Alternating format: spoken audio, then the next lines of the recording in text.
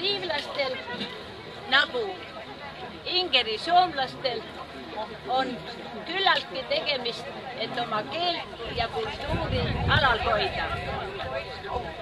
ja kõigepealt ma tahan öelda, näidata teile seda, mida tähendab liivilipp.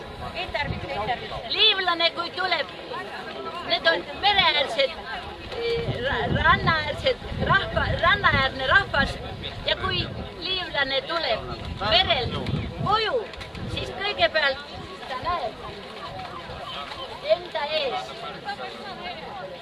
sinist merd.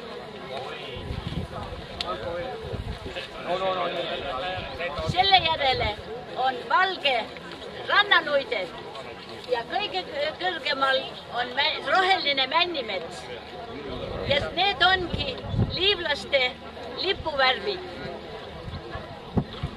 Kuna meie oleme Liivi folkloorirühm, näete, Kaandla, Kannel, Targale vallast, sest nemad, Targale vald asub ka just Ventspilsi lähedal. nii, ja selle eest, et me siin oleme oi, aga nüüd ma pean hakkama otsima, kus ma kedagi leian.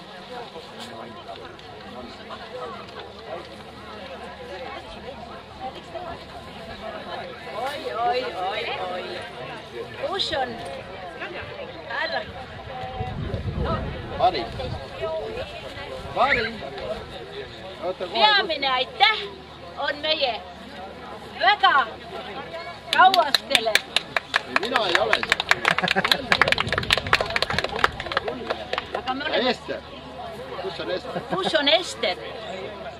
Ester,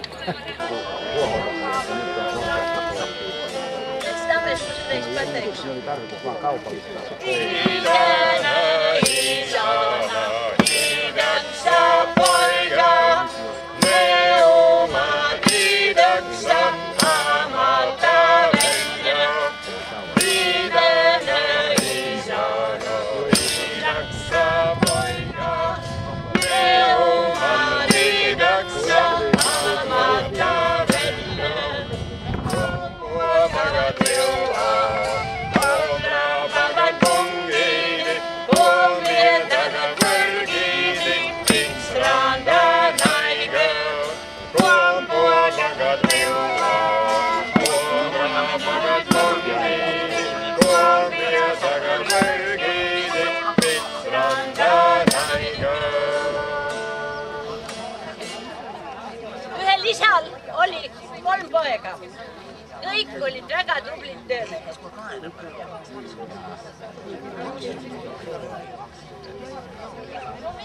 ja nüüd näeme järsku, et perest tulevad välja ilusad hobused.